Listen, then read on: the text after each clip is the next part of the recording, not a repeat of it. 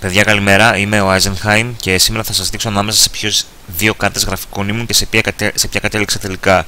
Να πω πως ε, ο τύπος της κάρτας γραφικών είναι το ίδιο, ο ίδιος, απλά αλλάζει η εταιρεία η οποία την κατασκευάζει. Λοιπόν, η πρώτη μου σκέψη ήταν μια GB High Definition 7870. Είναι μια πάρα πολύ, κάρτα, μια πάρα πολύ καλή κάρτα γραφικών ε, να πω πως η κάρτα γραφικών η οποία χρησιμοποιώ τώρα είναι μια ε, ATI 5770 και η συγκεκριμένη είναι περίπου 3 φορές καλύτερη από αυτήν που, που έχω τώρα.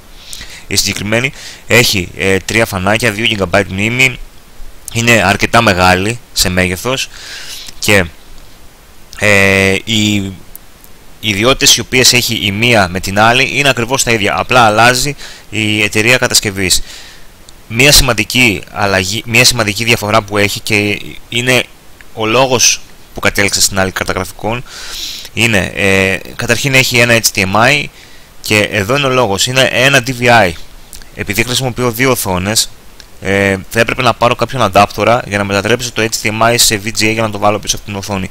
Αυτό κοστίζει γύρω στα 15 ευρώ από ό,τι έκανα ένα στην Ελλάδα. Τώρα σε eBay δεν έχω ψάξει Οπότε αμέσως θα μου έβγαινε περίπου 15 ευρώ πάνω. Η κάρτα γραφικών αυτή ε, κοστίζει γύρω στα 170 ευρώ.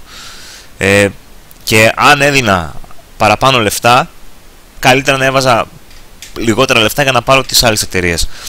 Ε, ήταν ένας από τους σημαντικούς λόγους που κατέληξα στην άλλη. Η άλλη κάρτα γραφικών και αυτή που κατέληξα και πήρα είναι μια Asus ε, High Definition 7870 και όπως σας είπα 2 GB έχει ακριβώς τα ίδια τις ακριβώς, τις ακριβώς ίδιες ιδιότητες αλλά βλέπουμε πως έχει δύο DVI το βλέπουμε και στην μικρογραφία εδώ πέρα ότι αυτά τα δύο είναι στο πάνω συνδέω την κεντρική μου οθόνη και στο κάτω συνδέω την άλλη μου οθόνη οπότε για να μην πω στη διαδικασία να ψάχνω ε, adapter για να κάνω το high definition, το HDMI σε VGA, να μπω σε μια διαδικασία να περιμένω κι άλλο για να μου έρθει.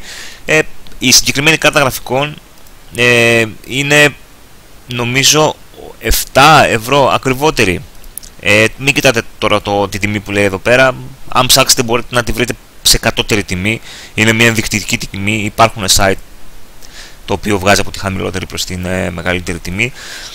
Ε, γενικά και σαν εμφάνιση μου αρέσει περισσότερο, μου αρέσει αυτό το κόκκινο μαύρο.